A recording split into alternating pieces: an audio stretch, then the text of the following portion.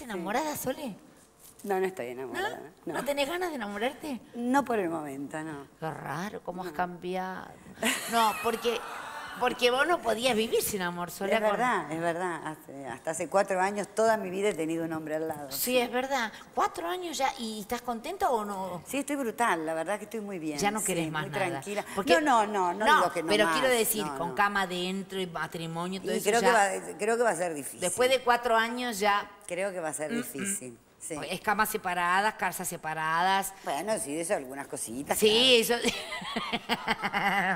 ah, pero ¿y vos te, te has enamorado de, tan, de tipos tan distintos. Bueno, como casi todas nosotras.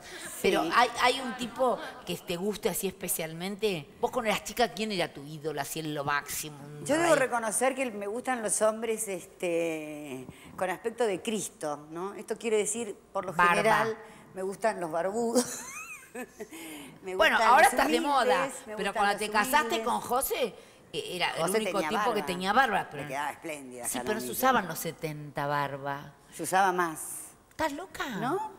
No, ahora se usa ahora todos tienen barba. ¿Ah, sí? Antes yo pensé que usaba más la barba en los 70 que ahora. Pero no, el único que tenía era José. Y el Che. Bueno, pero el Che de anterior, anterior, pero viste, sí, Fidel Castro. Me pero- parecía como una historia más de los 70 la barba. No, Ah, no, para- acordate que al colegio no dejaban ir Voy a con prestar barba. atención ahora a los barbudos. Claro, ahora está lleno de barbudos.